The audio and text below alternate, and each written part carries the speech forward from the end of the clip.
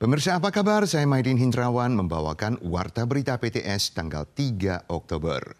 Taifun Kraton bergerak dengan lambat menuju utara dan mendarat di Taiwan dari distrik Xiaogang, Kaohsiung sekitar pukul 12.40 siang tadi. Dataran Taiwan Selatan semuanya masuk lingkaran badai. Pagi tadi, angin kencang berskala 12 sampai 14 dan hujan deras menimbulkan gelombang tinggi di pesisir Pingtung. Di Kaohsiung, banyak warga menerima peringatan ponsel terkait potensi munculnya angin kencang berskala 14, sementara banyak pengendara terjatuh di jalanan karena terhembus angin kuat. Tiang lampu lalu lintas patah tertiup angin kencang. Typhoon Kraton tidak hanya membawa hujan, namun juga angin kencang. Banyak warga Kaohsiung menerima peringatan ponsel terkait potensi munculnya angin kencang berskala 14. Tertiup angin kencang, motor yang diparkir di pinggir jalan berjatuhan. Pohon pun tumbang dan menimpa motor. Bahkan ada pengendara yang jatuh tertiup angin saat sedang melaju. Adegan ini terjadi di persimpangan Chonghua Road dan Sin Kuang Road. Beberapa pengendara terjatuh di jalan. 风太大来，强风大雨，其中这个风实在升到有够头的。有民众想要过这个车路，啊，不过因为这个风伤过头，等了点外钟，到即卖还阁唔敢过这个路口。 Ombak besar yang disertai angin dan hujan bermunculan di pesisir pantai Fangliao tanggal 3 pagi. Khawatir kondisi kerusakannya meluas, setelah tanggul di Dusun Tacuang disisipi tetrapot. Jalan di pinggirnya juga ditumpuk kantong kontainer dan tetrapot untuk mencegah bencana. Angin kencang berskala 12 hingga 14 pada pagi hari berhembus di kota-kota pesisir pantai seperti Tongkang dan Fangliao. Pengendara hanya bisa menggandeng motor mereka. Bertepatan dengan air pasang, intrusi air laut mengalir ke selokan, menyebabkan pemukiman di sekitarnya terendam banjir sejak tengah malam hingga pagi hari. Warga pun terpaksa memasang sekat kayu di depan pintu. Lingkaran badai Taifun Kraton perlahan-lahan menyelimuti Taiwan Selatan. Badan Cuaca Pusat CWA mengeluarkan peringatan angin kencang berkala level 11 sampai 13 untuk kawasan Changhua ke selatan.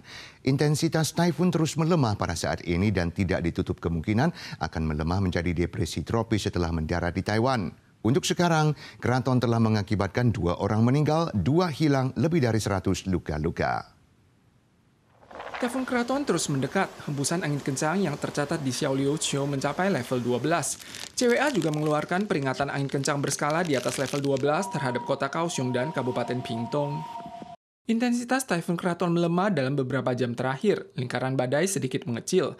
Mata taifun berada di perairan barat daya Kaohsiung bergerak dari utara timur laut ke arah utara. Lingkaran badai telah menyentuh kawasan Changhua ke selatan, sementara mata taifun masuk dari wilayah Kaohsiung. 台风登陆以后，它强度会随即被减弱，变成热带性低气压。 CWA mengeluarkan peringatan hujan lebat. Area pegunungan di Kabupaten Pingtung dan Kabupaten Taitung perlu mengantisipasi hujan lebat ekstrim. Pantai utara Kilong, area pegunungan kota Taipei, Tainan, Kaohsiung, Pingtung, dan Hualien mengalami hujan sangat lebat. Kota New Taipei, Yilan, dan Yunlin ke selatan juga perlu mewaspadai hujan lebat. Typhoon akan terus membawa hujan lebat sebelum dan sesudah masuk. Walau intensitasnya melemah dengan cepat setelah masuk, dampaknya diperkirakan akan berlangsung hingga paruh pertama hari Jumat.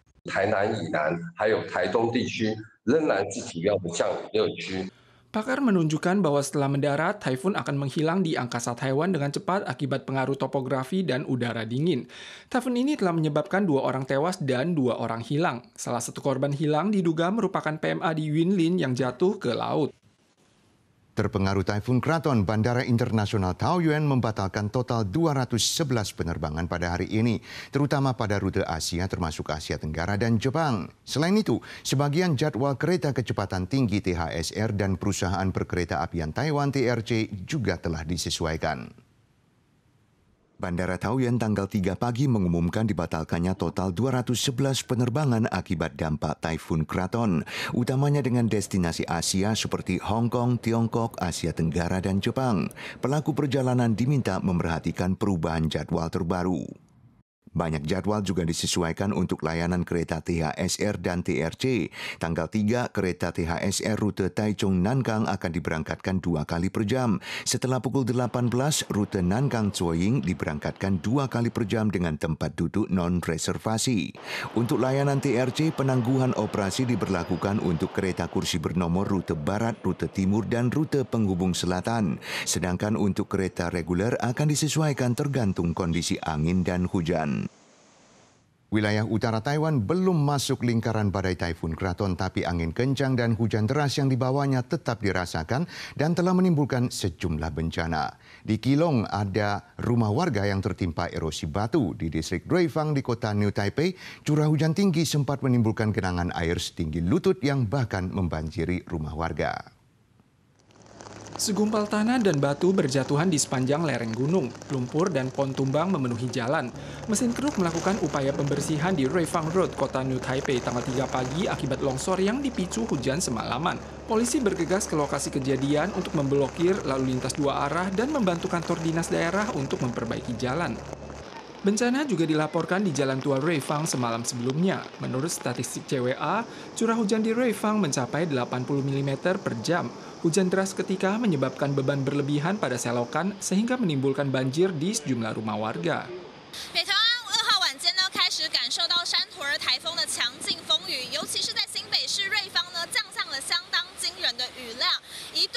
一度呢是水淹及膝，甚至到现在呢还在淹水。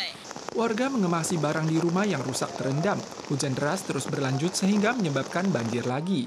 Dijen Sumber Daya Air sempat mengeluarkan peringatan banjir level 2 untuk distrik Ruifang.